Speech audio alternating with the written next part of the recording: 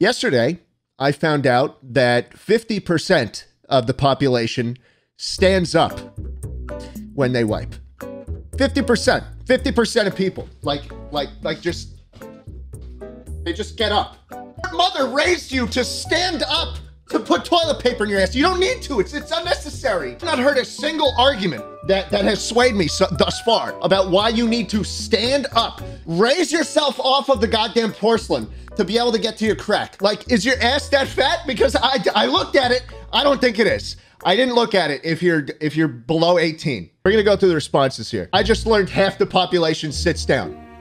You're a pig. Listen, I can't believe people still wipe, to be honest. Imagine this guy, Austin, fucking Scrooge McDuck. This is on our side, and she goes, Obviously, I sit, you nasty motherfucker. This is the only time I've ever enjoyed when she spoke. Karl Jacobs, who, who literally responds to everybody. He will stick his fucking head in and go, Hey guys, nowhere to be found. Where's Karl? I know where he is.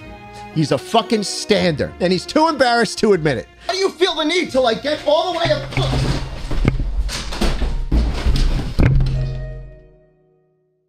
Used to be a full-time stander. Every time I would take a shit, I would stand. I would do like the kind of half squat, wipe my ass from behind, and sit back down. Then I underwent this process, which I call growing up. The whole time you stand? oh, fuck! That's No, not no, what the wait. discussion was about! There are people on this planet. People with money, with power, with fucking influence, who on the toilet put their hand between their legs and scoop forward.